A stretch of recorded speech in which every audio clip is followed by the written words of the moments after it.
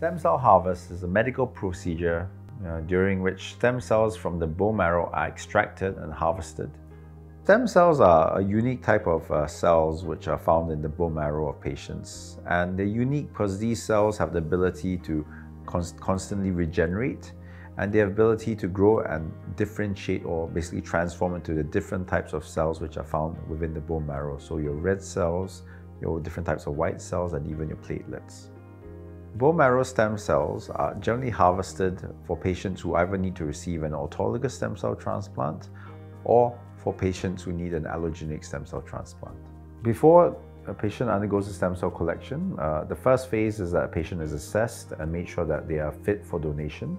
And this includes general physical assessment as well as certain blood tests to make sure that they do not have any uh, active infections. The stem cell harvest is divided into two phases, and I'll talk about the first phase first, which is the mobilization. Mobilization basically refers to the process in which we stimulate the bone marrow so that the stem cells in the bone marrow are, uh, are, start leaking out into the blood such that we can harvest them using the machines that we have. How we stimulate the bone marrow and mobilize the bone marrow can differ depending on the patient or depending on whether it's a donor.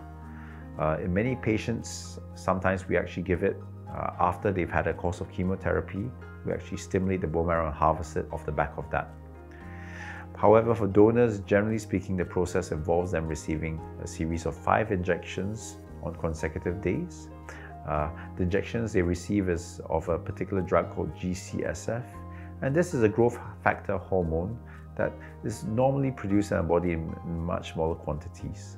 We give larger quantities of this injection to stimulate the bone marrow to make sure that we can get a good harvest. This injection is given subcutaneously, as in usually into the tummy, into the fat there, and is given on the same time every day, usually in the mornings.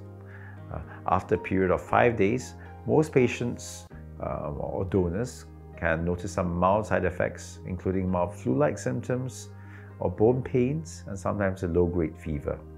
And once you complete the five days of injections, our patients are then admitted into hospital to undergo the stem cell harvesting.